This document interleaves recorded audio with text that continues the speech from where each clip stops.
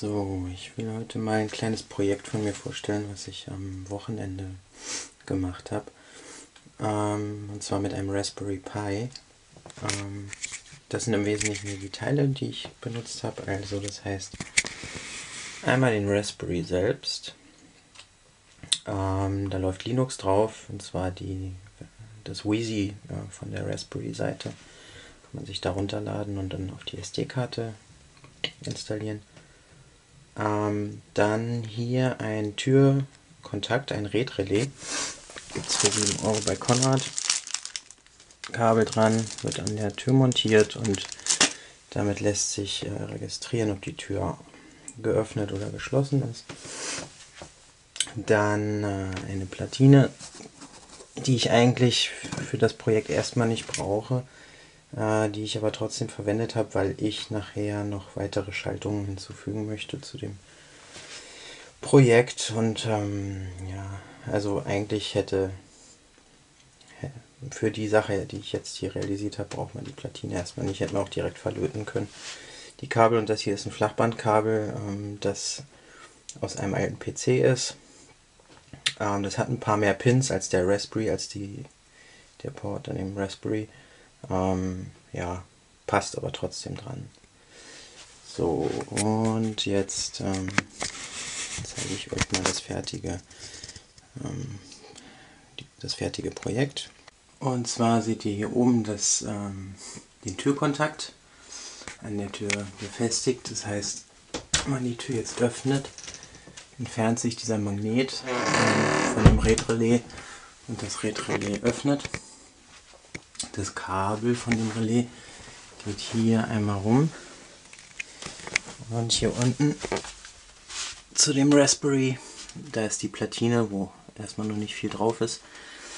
Ähm, und das Red-Relais ist an einem von den GPIO ähm, Pins, der ist dann als Eingang konfiguriert angeschlossen. Hier hinten geht das Netzwerkkabel runter zu dem Router und dann noch die Stromversorgung. Das Ganze wird dann später noch schick in ein Gehäuse verpackt. Und ja, jetzt zeige ich euch gleich mal, wie das Ganze funktioniert und was man damit Schönes machen kann. Also, das Ganze funktioniert jetzt so. Ähm, ich bekomme eine E-Mail und eine SMS, sobald die Tür geöffnet wird, äh, wenn ich nicht zu Hause bin. Und Dazu verwende ich das iPhone. Ich weiß nicht, ob man das hier sehen kann, dass ich hier mit dem, mit dem WLAN verbunden bin. Und ähm, was der Raspberry macht, ist, der guckt halt in bestimmten Zeitabständen, ob ich hier im lokalen äh, WLAN eingewählt bin mit meinem iPhone. Und solange das der Fall ist, passiert eigentlich gar nichts. Die Alarmanlage ist nicht aktiv. Ähm, wenn ich jetzt aber das Haus verlasse und ich simuliere das jetzt mal, ähm, indem ich einfach äh, das WLAN abschalte. Moment, da.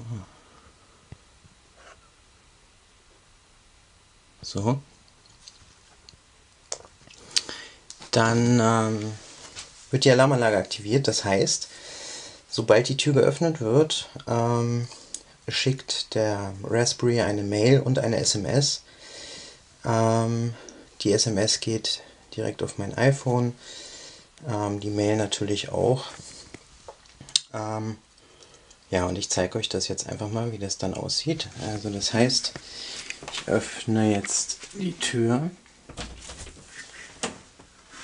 schließe wieder und so einen kleinen Moment warten. Da ist die SMS. Den Text ähm, kann man natürlich im Skript ändern. Das Ganze läuft, äh, läuft über, äh, über ein Python-Skript auf dem, auf dem äh, Raspberry. Und das Ganze kann ich euch jetzt nochmal ähm, am Laptop zeigen. Ähm, dazu logge ich mich jetzt per SSH ähm, auf dem Raspberry ein.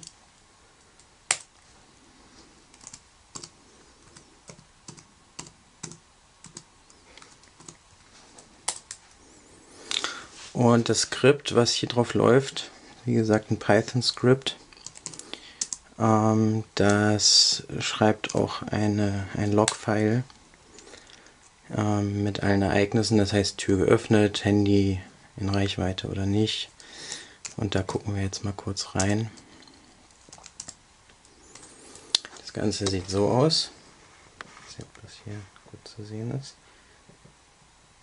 Genau, also das heißt, ähm, um äh, 17.51 Uhr wurde die Alarmanlage aktiviert, weil mein Handy nicht mehr in Reichweite war, beziehungsweise nicht mehr eingewählt. Dann ähm, wurde eine SMS verschickt und eine E-Mail verschickt. Und ja, das war es eigentlich auch schon.